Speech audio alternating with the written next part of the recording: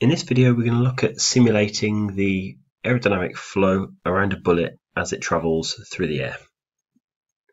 So first of all dragging CFX into the project workspace, right clicking on design model geometry and opening that up.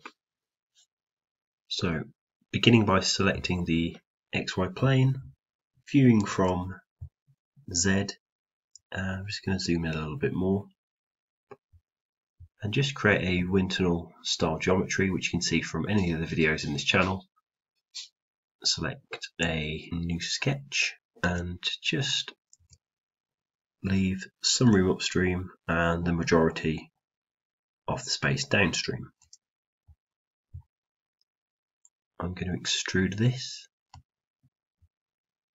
and I'm going to extrude it in opposite directions in the Z direction so when it says normal, we're just going to change that to both and symmetric. And we want it to approximately align with the width here. So the width is about 3 meters. So I'm going to say both 1.5 meters. Just hit generate and rotate. And we can view that from the end. And we've got an approximately square shape. We're going to create our bullet geometry on the YZ plane and extrude it in the X direction. So just viewing from negative X and zooming in to the origin, just selecting Z, Y here, and then sketching and then circle. So just selecting, so we've got that point option, which will be our origin, and create some diameter and just give that an actual value with um, with the tool there. So the diameter of our bullet is going to be about one centimeter. So let's say 1.2 centimeters, and we're going to extrude it in the positive X. Sorry, extrude it and make sure we cut geometry. So that's going to be cut two centimeters into the direction of positive x. So once you're happy with those settings, just select generate. And finally what we're going to do is just round the front end of the bullet. So just to make this easily viewable, we're just going to hit that front face, press F8 and then view the geometry here. So you can see our approximate shape. We just need to perform some level of rounding on that front edge. So that can be done simply with a fixed radius blend. And in this case, I've just given a fixed radius blend of 5 millimeters. So you can see it mostly rounds that off. You can maybe make some extra additions to 6 mil, but this is suitable for our case. So if you just want to save that, and next we'll create a mesh refinement box for the simulation. So again, just viewing from the top, you can see our computational domain is actually quite large for our purpose. So all we want to do is just make sure that we've got some level of mesh refinement in this region. It doesn't have to be uh, particularly accurate. So what I'm going to do is again just select XY, select a sketch, select that sketch and then drag and drop a refinement region in the wake of the vehicle. So you can see it comes out there in the order of about a meter long. And again, not being too concerned about symmetry, it's purely for demonstration. So extrude, apply, and add as frozen. Just making sure we use both directions, so normal in the symmetric directions, and again have it about 0.2, 0.3 meters in height. So you can see that's appeared as a, another body. So we can just save this and open up the meshing software. So in ANSYS meshing, we're going to first of all just add sizing to our bullet. So if you remember, it was about 1.2 centimeters in diameter. So we'll just create a surface size there. So selecting from the Z direction and finding our bullet using the box select tool. There you go. You can see it's both picked up on the refinement box and the bullet. So I'll just do that again. Uh, this time we've only selected the bullet. And our element size is going to be the order of uh, one millimeter. So just generate that and see if it's sufficient. So you see what we've got here is defeaturing because the mesh is too large so we can just make the cells an order of magnitude smaller and the geometry is only really small so we can actually get away with doing this and not cause it excessive computational cost. So after some trial and error it was found that 3 times 10 to the minus 4 meter for the cell size on the surface of the bullet was sufficient. So just about to change the size of the refinement box cells. So again, right clicking on mesh and sizing and our geometry is going to be the whole computational domain. And what we need to do here is change element size to body of influence. And that's where we select the mesh refinement region to be our body, which you can see there, it's been picked up. And then from here we can change the cells to be about a centimetre. And if we just hit generate and wait for that to finish. So just viewing the simulations mesh here. So selecting a section plane and approximately trying to drag it down the middle of the domain it's quite challenging to pick out the geometry of the bullet because obviously it's so small compared to the domain. But you can see the refinement region there is um, effectively captured. So I'm going to leave this as it is. I'm going to close meshing and then update and open up CFX Pre. So within CFX X pre we need to set the boundary conditions. So I'll just begin with the outside walls.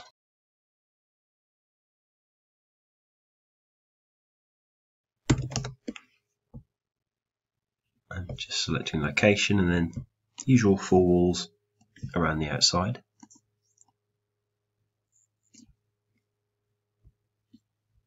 And here, and here. And I'm going to leave these as free slip walls to make sure the velocity doesn't um, slow down on them and create boundary layers. Then we're going to need to uh, create the inlet. So again, just selecting boundary, call it inlet, and select that front wall there. So currently it's only giving me the option of subsonic. So I'm going to create a normal speed of 500 meters per second with a low intensity for turbulence. Going to rotate and going to right click and select the opening I'm just going to call it outlet, but it will be an opening condition. So select the box and then select the surface and just selecting that as zero static pressure. And finally this boundary condition here will just be the uh, bullet itself. So what we need to do is double click default domain we need to make sure we're including um, total energy here. So we've got some turbulence model. We're going to include um, high speed, high speed compressible wall flux heat model. We've not got any combustion. We're not going to got any radiation. And initialization we can leave as it is. So what that's going to do is cause us some issues with respect to our boundary conditions. So just going into uh, inlet, so static temperature, we can just leave that as 25 degrees Celsius. So because we've got high speed compressible heat transfer model is not enabled for an incompressible fluid, we need to make sure air is brought in as an ideal gas. So just hitting apply there. What we can do is go back to inlet. And that should allow us to generate that as a supersonic flow. And inlet's going to need to be relative static pressure of 0 pascals. Just closing this and our outlet also needs to be supersonic so from here I'm going to leave the remainder of the solver controls alone and we're just going to shut save and open up solver manager so once you've opened up CFX Solver Manager, just hit double precision, large problem, and MPI local parallel. Add your number of processors and select start run. So in CFD post, we can just begin a first look at the results. So viewing from the negative X direction, viewing from the negative Y direction, we can just create a quick plane and create that about the origin just make sure we're looking at ZX for our slice. And we've appropriately picked up the geometry of the bullet there. You can see some slight mark. I'll zoom in in a moment. And just looking at uh, different variables. So pressure is quite an interesting one here. Just creating that to local so we can see what's actually on the plane. And just zooming in, you can see, of course, your stagnation, uh, some element of shock, and then your wake. Can view our density. So there we're seeing a significant amount of compression, again, as you'd imagine, in the stagnation region, and of course the opposite in the wake.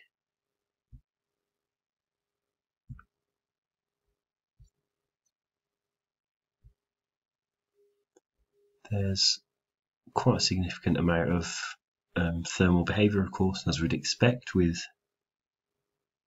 uh, such a high speed flow. So you can see we've got approximately 400 Kelvin in the stagnation and the awakes.